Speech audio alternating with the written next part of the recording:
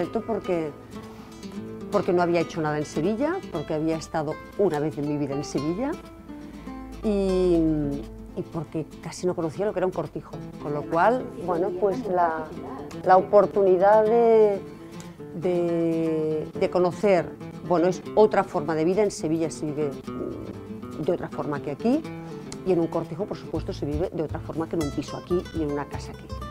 Entonces, bueno, pues conocer desde la historia, de documentarte siempre está bien, pues porque desde eh, los inicios, bueno, no voy a entrar en historia, pero sí que te tienes que documentar de qué es un cortijo, el porqué de los cortijos y, por qué se vivía así y por qué de utilizar algunos materiales.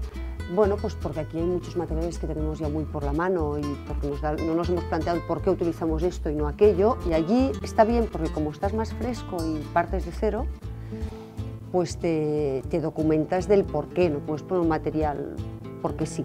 Entonces, claro, el planteamiento era primero qué será un cortijo y luego, claro, empiezan las dudas de mm, qué suelo tiene un cortijo, cómo son las paredes de un cortijo, cómo son las puertas de un cortijo, cómo se circula por un cortijo. O sea, eran grandes interrogantes que, eh, bueno, pues que hacían el proyecto tan sugerente como tan atractivo como dolor de barriga para empezar a hacerlo, diríamos. Pero bueno, bien, la verdad estuvo bien.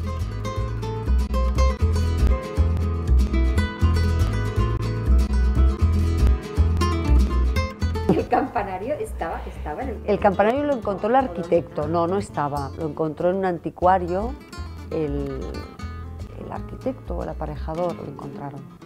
O sea, Está bonito. una labor de, de historiador, eh, prácticamente. en esta Bueno, casa, está ¿eh? bien porque estas cosas te ayudan a, a, bueno, por un lado agudizar el ingenio, ¿no? la oportunidad de hacer cosas diferentes y por otro lado eh, a desempolvar los libros de historia, que, que está bien, ¿no? porque es un cortijo, pero bueno, está allí y cuando de golpe tienes que hacerlo, tienes que ponerte, tienes que entrar y tienes que conocer algo de historia también para ser, para ser coherente y, y respetuoso con, con los espacios en la tierra donde están ubicados.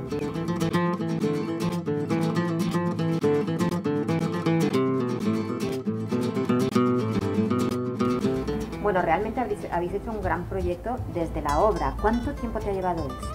Pues poco por lo que por la obra, porque nos encontramos la casa era una ruina, no, no era un cortijo. Yo pensaba que íbamos a hacer un cortijo y en realidad empezamos levantando una ruina.